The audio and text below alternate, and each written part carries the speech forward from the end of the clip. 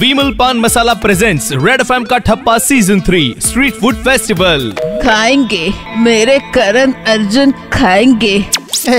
माँ ने कहा मिठाई खा लो बाबूजी ने कहा आइसक्रीम खा लो। लेकिन मुझे क्या खाना है? किसी ने पूछा ही नहीं। हम्म। साला एक फ़ूड फेस्टिवल आदमी को भुक्खड़ बना देता है। ओ यारा रोटला मिलेगा दोबारा? ओ यारा। अबे जब पाँच सिख दोबारा वो गएँगे जब भाजी पाव के अलावा कुछ ना खाएगी। लिख लो।